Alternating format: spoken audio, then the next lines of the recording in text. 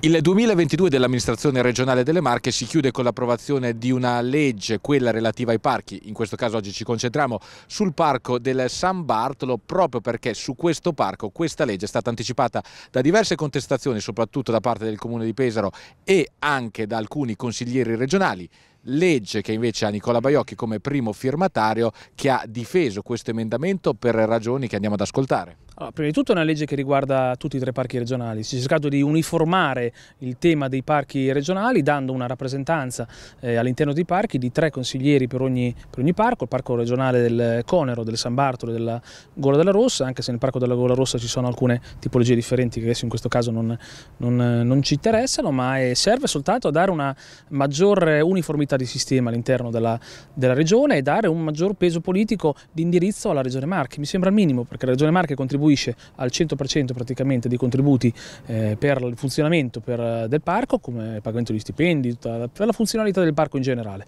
E quindi mi pare opportuno che la Regione debba dire la sua, debba avere una funzione di indirizzo e di controllo all'interno del parco. Consiglieri che passano da 5 a 7 con eh, integrazioni appunto dalla Regione Marche, ma eh, integrazioni senza esclusioni. Assolutamente sì, è solamente escluso il, il, rappresentante della provincia, rimane il comune di Peso, rimane il comune di Gabice, rimane eh, gli agricoltori, il rappresentante degli agricoltori gli ambientalisti, quindi in, inoltre c'è anche il comitato del parco che raggruppa tutti, quindi non è l'esclusione della provincia, ma mi pare giusto e opportuno ricordare che nella passata legislatura fu proprio il centro-sinistra in commissione dove il presidente allora era Biancani che tolse il rappresentante della, della provincia per darlo al, alle organizzazioni rappresentative nell'ambito del turismo. E questa legge non è mai stata impugnata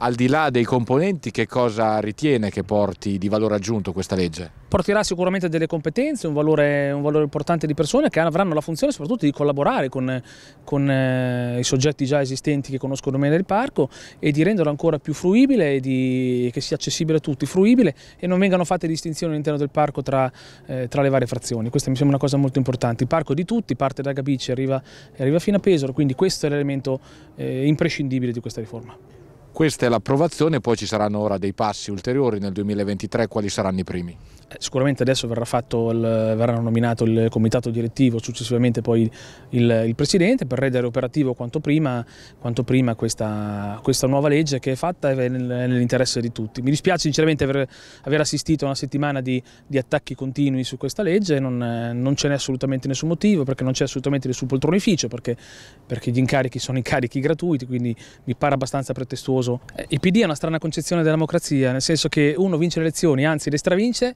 e non può legittimamente pensare di modificare una legge e andare in un indirizzo politico su una situazione che ritiene da dover modificare. Mi dispiace, si parla troppo spesso, almeno loro parlano troppo spesso di democrazia, di costituzione, di diritti e non lasciano la libertà ad un'amministrazione che ha vinto le elezioni e quindi legittimamente può fare delle modifiche ad una legge di, di andare verso una direzione molto chiara che è quella di riuscire a modificare la governance dei parchi per dare maggiore efficienza. Mi dispiace perché la consigliera Vitri invece magari di andare a dormire alle 4 di mattina, io sono rimasto fino alle 6, poteva tranquillamente rimanere in aula e, e dire la sua in ordine a questa legge, non solamente sui giornali ma nel ruolo istituzionale quali si discutono le leggi, che non sono i giornali ma è l'aula del Consiglio dell'Assemblea legislativa.